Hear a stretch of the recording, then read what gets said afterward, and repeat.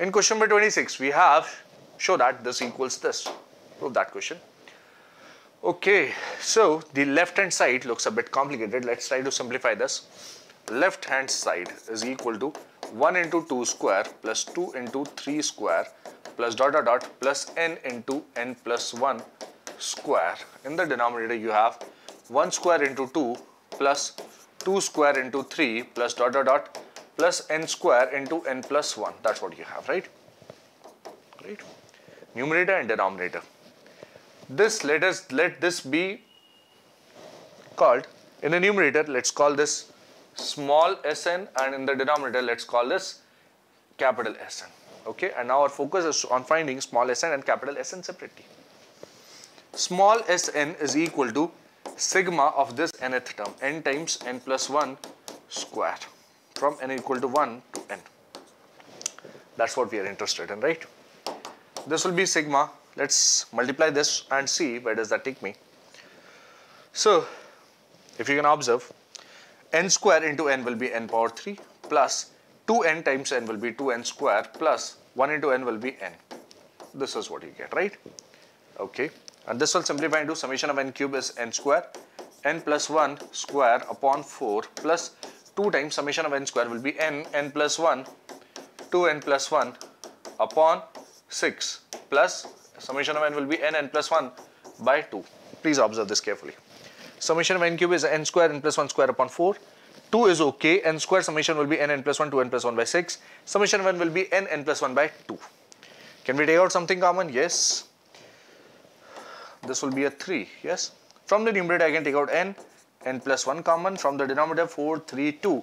I have the LCM as 12. Let's take out 12 common. What remains is 3n times n plus 1 over here from the first term. Yes. From the second term, I have 4 times 2n plus 1 remaining and in the next term we have nn plus 1 by 2 a 6 remaining over here. This is what you have. This is what you have, right? Okay.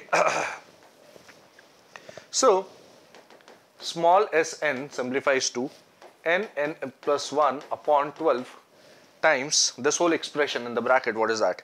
3n square plus 3n plus 8n is 11n 4 plus 6 is 10.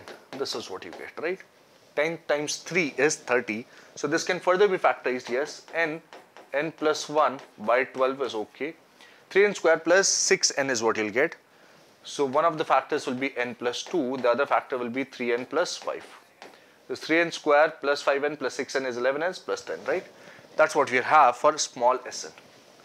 What about the other one, capital Sn? let's focus on this capital Sn which is the denominator of the LHS, right?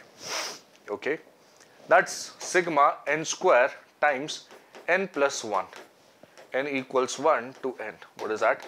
Sigma of n power 3 plus n square. This is what you have. What sigma n power 3? This is n square n plus 1 square upon 4 plus sigma n square is n, n plus 1, 2n plus 1 upon 6 this is what you have. Right? So you can take out n common n plus 1 common and in the denominator you can take LCM as 12 what remains is 3n times n plus 1 plus 2 times 2n plus 1 this remains is that okay yes please take a look at this again n square n n plus 1 has been taken out common then you have 12 taken out common from here and this is what you'll be getting n n plus 1 upon 12 is okay in the bracket, what do we have? This is 3n square plus 3n plus 4n is 7n plus 2. And 3 times 2 is 6. You can write 7 as 6n plus n. Factorizing this.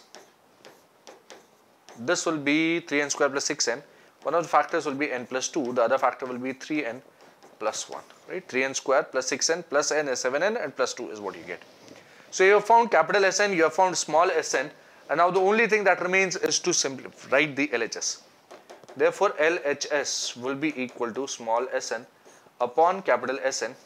I can write this whole expression divided by this whole expression over here, but you can see n n plus 1 by 12 and n plus 1 by 12, n plus 2, n plus 2 goes away and what remains is 3n plus 5 upon 3n plus 1.